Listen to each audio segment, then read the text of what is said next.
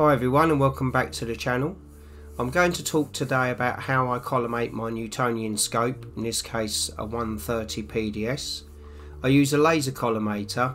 These do get a bit of bad press but as long as they're accurate you shouldn't have too many problems and we can check that before we use it. Some collimators come with adjustment screws around the outside and I would suggest that if you're going to get one, get one with these so that if there is any problems with its accuracy you can adjust it. So the first thing to do is check that the collimator is true.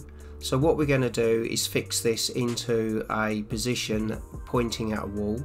I use a vise for this and what we're looking to do is just uh, get it a good distance from a wall with a point that we can look at. Um, turn the collimator on and then very slowly rotate the collimator watching the laser point on the wall. We want it to rotate but stay in roughly the same position. If it makes a larger circle then we know that the laser is not pointing straight and true and won't collimate your scope very accurately so you will need to make adjustments. If however we're happy with the laser we can now move on to collimating the scope. Place the laser into the focus tube and then what we need to do is observe down the front of the scope at the circle that's on the primary mirror and observe where the laser is hitting that target. Here you can see the laser is hitting the top left hand corner of the circle so we need to make adjustments to get that laser into the centre.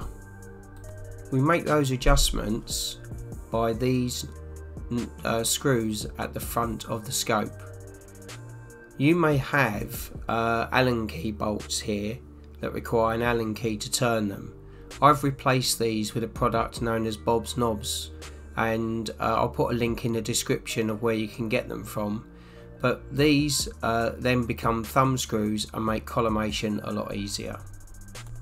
So proceed by making very very small turns of these screws, uh, undoing one first and then slightly tightening up the slack with the other two and just move the laser around and you want to get the point in the dead center of that small circle on the primary mirror.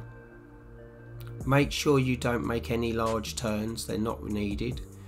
And when you are finished and you are happy that the laser is in the center, check to make sure that none of the screws are loose and that they're all nipped up. That's the secondary mirror collimated and now we need to move to the primary mirror. So we need to move to the rear of the scope and we need to at the same time as being able to access the screws at the back of the scope be able to also see the target on the collimator.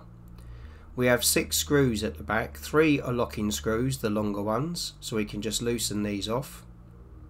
And we're going to make small adjustments to the larger uh, thumb screws to move the laser to the correct part on the target. So I'm just going to dim the light so that we can see the laser a bit easier and then making small adjustments of these screws at the back moving the primary mirror we're going to make the laser disappear into the hole on the target.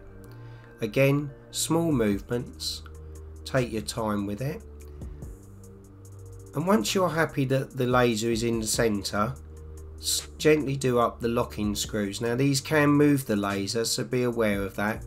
Don't over tighten them and just lock everything up so that the primary mirror won't move. Once this is in place and we're happy that the laser is in the centre of that target we need to check the front of the scope again and make sure that the first check we did is still in place that the laser is in the dot of the circle and if it is then everything's good and the uh, scope is collimated. If it isn't just repeat the steps until you have the laser inside the two targets. I hope this has helped. And if you do have any questions please let me know in the comment section. If uh, you like the content please consider liking and subscribing. And until next time I'd like to wish you all clear skies